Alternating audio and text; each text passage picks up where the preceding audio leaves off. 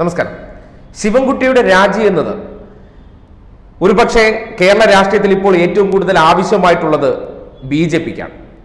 B J P ആണ് ഈ വിഷയത്തിൽ ഇപ്പോൾ നിരന്തരം പല തരത്തിൽ പ്രതിഷേധങ്ങൾ ഉണ്ടാക്കുന്നത് അപ്പോൾ ആ വക്കാലത്ത് കേരളത്തിലെ കോൺഗ്രസ് അതേപടി ഏറ്റെടുക്കുകയാണ്.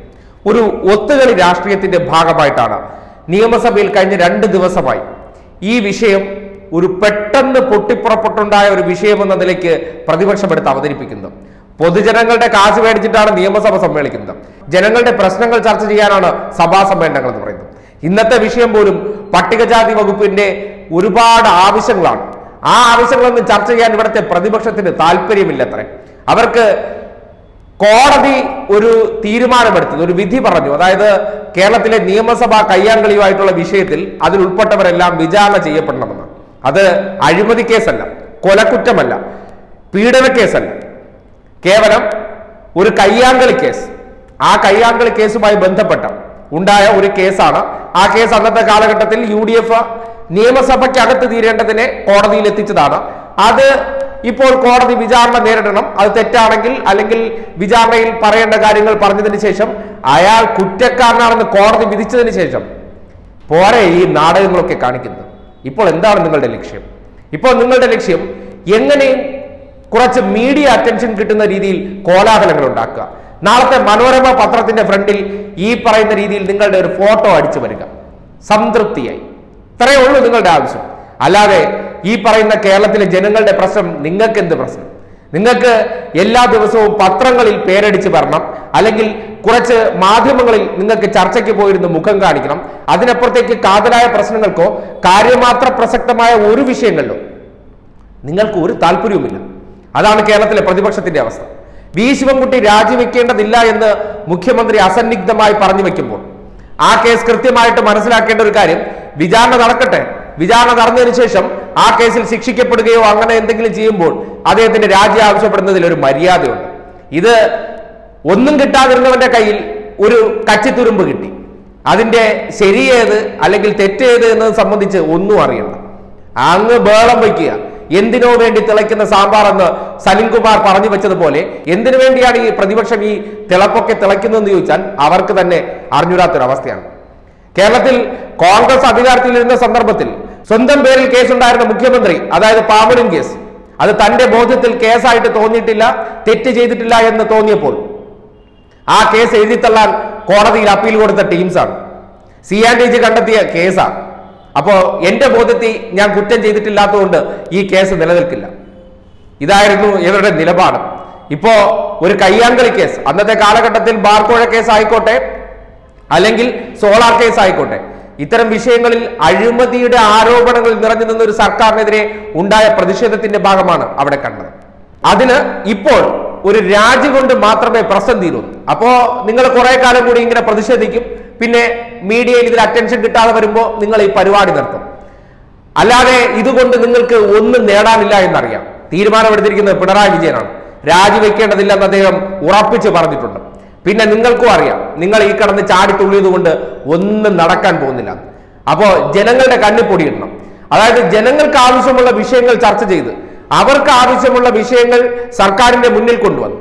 അതിൽ നിങ്ങൾക്ക് ഒരു തരത്തിലും നടപടി സ്വീകരിക്കേണ്ട ആവശ്യമില്ല. കാര്യം നാളെ പത്രത്തിൽ ഫോട്ടോ വരില്ലല്ലോ. പത്രത്തിൽ ഫോട്ടോ വന്നാലേ നമ്മൾ ഇവിടെ ഉണ്ട് എന്ന് നാട്ടുകാരറിയും. ഇതുകൊണ്ട് തന്നെയാണ് ഈ പറയുന്ന കോൺഗ്രസ് ഇന്ന് ഈ രീതിയിൽ അധപ്പതിച്ചിരിക്കുന്നത്. ഈ ജനങ്ങളുടെ കണ്ണിപ്പൊടിയിട്ടോ കുറച്ച് മാധ്യമങ്ങൾ നിങ്ങളുടെ ഡയലോഗുകൾ അടിച്ചു വന്നതുകൊണ്ടോ അല്ലെങ്കിൽ സോഷ്യൽ മീഡിയയിൽ ഏതെങ്കിലും രണ്ട് ബിറ്റ് കട്ട് ചെയ്തിട്ട് അതിനെ വലിയ വൈറൽ വീഡിയോ ആക്കി മാറ്റിയെന്ന് കരുതിയോ? അതൊന്നും ഇവിടുത്തെ സാധാരണക്കാരനെ ഇൻഫ്ലുവൻസ് ചെയ്യാൻ പോകുന്നില്ല അല്ലെങ്കിൽ സ്വാധീനിക്കാൻ പോകുന്നില്ല എന്നെങ്കിലും മനസ്സിലാക്കാനായിട്ടുള്ള സാമാന്യ ബോധമാണ് നിങ്ങൾക്ക് ഇനി ഉണ്ടാകേണ്ടത്. അതുണ്ടാകാത്ത കാലത്തോളം ഈ ഇപ്പോൾ അധികാരത്തിൽ നിന്ന് നിങ്ങൾ വെളിയിലേക്ക് നിൽക്കാൻ തുടങ്ങിയിട്ട് പത്ത് വർഷം തികയാൻ പോകുകയാണ് ഇന്ത്യയിൽ കേരളത്തിലൂടെ ഉണ്ടായിരുന്ന സി പി എം സർക്കാർ അല്ലെങ്കിൽ ഇടതുപക്ഷ സർക്കാർ ഈ തെരഞ്ഞെടുപ്പോടുകൂടി ഇന്ത്യയിൽ നിന്ന് തന്നെ തുടച്ചു നീക്കപ്പെടുമെന്ന് വാദിച്ചിരുന്നവരാണ് നിങ്ങളും ബി ജെ പി. അപ്പോ നിങ്ങളിപ്പോൾ ബി ജെ പിക്ക് വേണ്ടി ഒരു വലിയ സമരം ഏറ്റെടുത്തിരിക്കുകയാണ്. ബി ജെ പിക്ക് നിയമം കൈവിട്ടു പോയതിൽ ഉള്ളിലുണ്ടായ പൊള്ളൽ മാറ്റാൻ വേണ്ടി നിങ്ങൾ അവരുടെ ശബ്ദമായി നിയമസഭയിൽ സംസാരിക്കുന്നു. ബി ജെ പിക്കാർ ഈ പറയുന്ന രീതിയിൽ വട്ടപൂജ്യമായതിന്റെ ദുഃഖം ഇത്തരത്തിൽ സെക്രട്ടേറിയറ്റിന്റെ മുന്നിലോ വി ശിവൻകുട്ടിയുടെ വീട്ടിന്റെ മുന്നിലൊക്കെ രണ്ട് കൊടിയും കൊണ്ട് നടന്ന് കാണിക്കുന്നത് മനസ്സിലാക്കാം. കാര്യം അവരുടെ കയ്യിലിരുന്ന അല്ലെങ്കിൽ അവരുടെ ഒരു മോഹ സീറ്റാണ് ഈ ശിവൻകുട്ടിയിലൂടെ നഷ്ടപ്പെട്ടത്. ആ ശിവൻകുട്ടിയെ നിങ്ങൾ എന്തിന്റെ പേര് രാജിവെപ്പിക്കാൻ ആഗ്രഹിക്കുന്നു എന്ന് പറഞ്ഞാൽ നിങ്ങളെ തെരഞ്ഞെടുപ്പിലും അല്ലാതെ മറ്റുള്ള കാര്യങ്ങളിലൊക്കെ ബി ജെ പി അകമഴിഞ്ഞ് പിന്തുണച്ചിട്ടുള്ള ഒരു സന്ദർഭങ്ങൾ ഈ നാട്ടിലുണ്ടല്ലോ. സ്വർണക്കടത്ത് കേസിലും വടക്കാഞ്ചേരി ഫ്ളാറ്റ് വിവാദത്തിലൊക്കെ ഇരുട്ട് വെളുക്കുന്നതിന് മുമ്പ് നിങ്ങളുടെ ആവശ്യം പരിഗണിച്ച് സി ബി ഐ വന്ന നാടാണ്. അപ്പോ നാട്ടിലുള്ളവരൊന്നും മറന്നിട്ടില്ല. ഈ പ്രതിപക്ഷത്തുള്ളവർ ഒരു കാര്യം മനസ്സിലാക്കുക. നിങ്ങൾ ഈ നാട്ടിൽ ഇപ്പോൾ ചെയ്തു കൂട്ടിക്കൊണ്ടിരിക്കുന്ന പ്രവർത്തനം അതായത് ബി ജെ പിക്ക് വേണ്ടി നടത്തുന്ന കുഴലൂത്ത് പ്രവർത്തനം അതും പൊതുജനത്തിന്റെ പൈസയാണ്. നിയമസഭ സമ്മേളിക്കുമ്പോൾ ഓരോരുത്തരും എണ്ണി മേടിക്കുന്നുണ്ടല്ലോ പൈസയൊക്കെ. അത് പണിയെടുത്തിട്ട് മേടിക്കുന്നതിൽ അന്തസ്സുണ്ട്. അല്ലാതെ ഈ പറയുന്ന രീതിയിൽ കുറെ ഒച്ചപ്പാടും ബേളും ഉണ്ടാക്കി ടി വിയിൽ മുഖം വരുത്താൻ വേണ്ടിയാണ് നിങ്ങളെ അങ്ങോട്ടേക്ക് പറഞ്ഞയച്ചിരിക്കുന്നതെന്നൊരു തോന്നലുണ്ടെങ്കിൽ അത് അടുത്ത വർഷം ജനം തിരുത്തി തരും എന്താണ് നിങ്ങൾ ഈ നാട്ടിലെ ജനങ്ങൾക്ക് വേണ്ടി ചെയ്തുകൊണ്ടിരിക്കുന്നത്? ഒന്നും ചെയ്യുന്നില്ല. ജനങ്ങൾക്ക് എന്തെല്ലാം പ്രശ്നങ്ങൾ ഈ നിയമസഭയുടെ മുന്നിൽ കൊണ്ടുവരേണ്ടതുണ്ട്? ഇപ്പോ നിങ്ങൾക്ക് അതൊന്നും ഒരു പ്രശ്നമല്ല. നിങ്ങൾക്ക് ബി ജെ പി എങ്ങനെയെങ്കിലും കേരളത്തിൽ പിടിച്ചു നിർത്തണം. നിയമമണ്ഡലം ബി ജെ പിയുടെ കയ്യിൽ നിന്ന് പോയതിൽ ഏറ്റവും കൂടുതൽ വേദനിക്കുന്നവരാണ് ഈ പറയുന്ന കോൺഗ്രസ്സുകാർ. കോൺഗ്രസ്സുകാർ പല മേഖലകളിലും അതിന്റെ ഭാഗമായിട്ട് ബി ജെ പിയുടെ വോട്ടുകൾ നിങ്ങൾ പർച്ചേസ് ചെയ്തിരുന്നു. നിങ്ങൾ ജയം ഉറപ്പിച്ചിരുന്നു. പല മേഖലകളിലും നിങ്ങൾ അവരുടെ വോട്ട് ഉറപ്പിച്ചതിന് ശേഷം നിങ്ങൾ രണ്ടാമത് അധികാരത്തിൽ വരുമെന്ന് സ്വപ്നം കണ്ടിരുന്നു. എല്ലാം ഇപ്പോൾ ഹതാഹൂവയായിട്ടുണ്ട് അപ്പോ ഇനി എന്ത് ചെയ്യണം? അഞ്ചു വർഷം രാഷ്ട്രീയ പ്രവർത്തനമല്ല എന്തെങ്കിലുമൊക്കെ ബഹളങ്ങൾ കാണിച്ച് ടി വിയിൽ നിറഞ്ഞു നിന്നാൽ ജനം അംഗീകരിക്കുമെന്നൊരു തോന്നൽ നിങ്ങളുടെ ഉള്ളിൽ നുരഞ്ഞു പൊന്തിയതാണ്. ഈ പ്രശ്നങ്ങൾക്കെല്ലാം കാര്യമെന്ന് കൃത്യമായി വിലയിരുത്താൻ കഴിയും. പക്ഷേ ശിവൻകുട്ടി രാജിവെക്കാനൊന്നും പോകുന്നില്ല. കേരളത്തിലെ ബി ജെ പിയുടെ അക്കൗണ്ട് ക്ലോസ് ചെയ്തത് ശിവൻകുട്ടിയാണെങ്കിൽ ശിവൻകുട്ടി ഇവിടെ ശക്തനായി മന്ത്രിയായി തന്നെ തുടരും. അതിൽ ഒരു തർക്കവും വേണ്ട എന്നുള്ള കാര്യം പിണറായി വിജയന്റെ വാക്കുകളിൽ കൃത്യമായി നിഴലിച്ചിട്ടുണ്ട്. പിണറായിയുടെ രീതിയും സ്വഭാവമൊക്കെ നിങ്ങൾക്കറിയാലോ. പിണറായിയെ പേടിയില്ല പിണറായിയെ പേടിയില്ല എന്ന് നിങ്ങൾ കൂടെ കൂടെ ഇങ്ങനെ പറയുമ്പോൾ എന്തുകൊണ്ട് ഒരാൾ അത് പറയേണ്ടി വരുന്നു എന്ന് പറഞ്ഞാൽ ഉള്ളിൽ ഭയമുള്ളത് കൊണ്ടാണല്ലോ.